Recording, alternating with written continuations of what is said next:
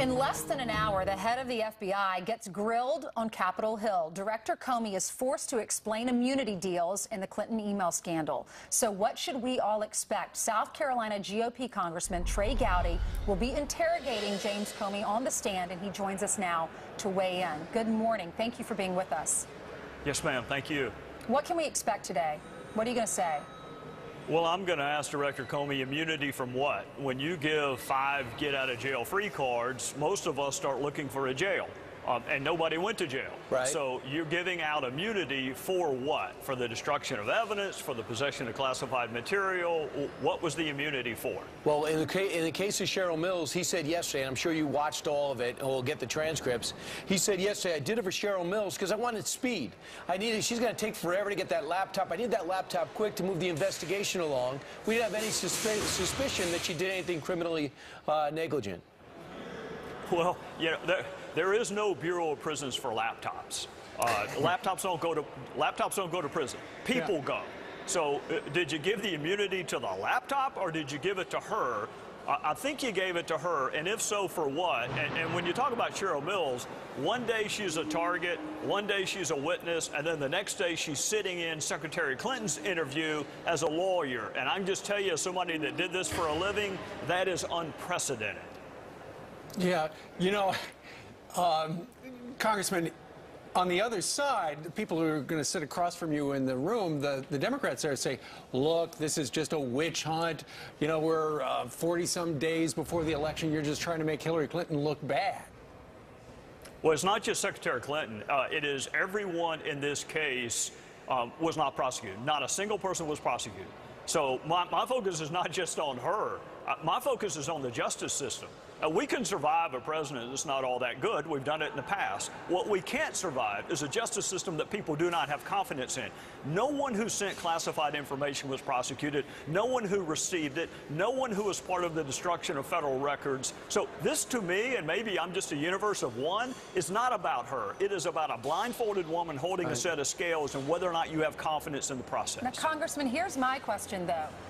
Okay, so they want her laptop. They want Cheryl Mills' laptop, who's the lawyer for Hillary Clinton. Why don't they just get a quick search warrant? You can easily get that from a judge in a matter of minutes. Why don't they go into her house, and get the laptop if they need it for the investigation? Why do they have to give her immunity? That's like saying, guess what? I'm going to give you immunity, but you have to hand over that laptop. In any other situation, this would never be the case. No, you would use a grand jury subpoena or a search warrant. Now, what Comey said yesterday was because she's a lawyer, then you have attorney-client privilege yep. issues. Uh, and there is some merit to that. But that gets back to my original point. Uh, Cheryl Mills, I mean, uh, uh here's the moral of the story. Hire a lawyer to be your chief of staff, because then what you want to be made public can mm -hmm. be made mm-hmm. public, and what you don't want to be made public, you can claim attorney-client privilege. Sweet deal. It is great. Wow. So, moral of the story: hire a lawyer to be your chief of staff. So we, so this thing, uh, weeks after the final verdict was handed out, and there'll be no indictment. But of course, James Comey's words were critical of Hillary Clinton. You have even more questions. What was dumped on you on Friday that raised even more questions? Was it just this five five people who have immunity, including Bryan Pagliano, who was told by Cheryl Mills to start deleting the emails?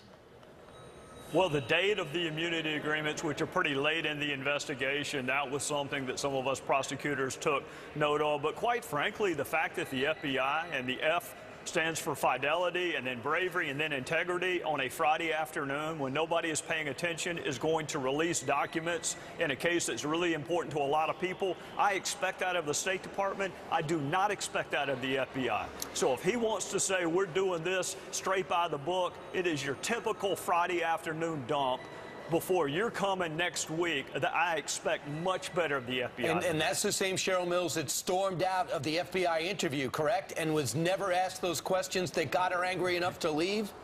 Right. She stormed out because her lawyer, who used to work for the Department of Justice, by the way, and the DOJ lawyers had an agreement about what she would and would not be asked, and the FBI apparently was not part of that deal. So they, God forbid, asked a question that went into an area she didn't want it to go. So that's why she left. This whole thing would not happen to Cheryl Smith or Cheryl Jones, but it happened to Cheryl Mills, and that is my focus. Why are you treating this case differently than you would anyone else's. What's the answer to that, Congressman? politics, I guess, and a, and a Department of Justice that has been politicized. I mean, stop, keep in mind, the head of the Department of Justice met on a tarmac for 30 minutes. She claims to talk about golf and grandkids. There's not a guy in the world that's going to talk 30 minutes about their grandkids. Maybe about golf. Maybe golf, right. Maybe golf, but not their grandkids. Really? Right. Uh, that's disappointing. We also learned on Friday that she had a secret aide or an intern, Confidential a assistant. confidential assistant that worked for her. Monica was- Hanley. There's her picture right there. She's the one, you know, being circled there. She was the one that was told to go on eBay several times and buy these Blackberries for Hillary Clinton because you can't really get a Blackberry anymore. Even though, Congressman, remember, Hillary only was supposed to have one device. That's at least what she told told you guys. Yeah, well, she told she told the whole world she had one device, but she also told the whole world that she didn't send or receive classified information, that she returned all of her work products, and she was kind of iffy on who Sidney Blumenthal was. So most of what she said initially was demonstrably false. That's the next issue the FBI has to decide. Uh, you may can get away with lying to the public. That's not a crime, but you can't lie to Congress. Right.